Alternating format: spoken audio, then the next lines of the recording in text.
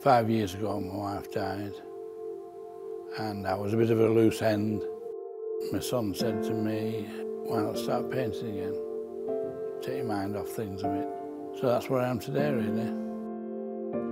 When I started painting again, it's looking around for something to paint, and it's, it's stuck there on the hillside, so I mean, it's quite dominant.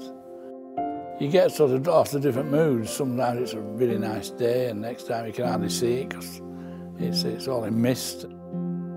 If you come to Darwen and you look over the hills, it looks like a, Victorian rocket ship because it looks like it's got its legs and it's got a point to it. It looks like a, Victorian idea of a rocket ship going, going to the moon. It's a landmark for Darwen, end of day. Uh, it's uh, like a, a beacon for Darwen.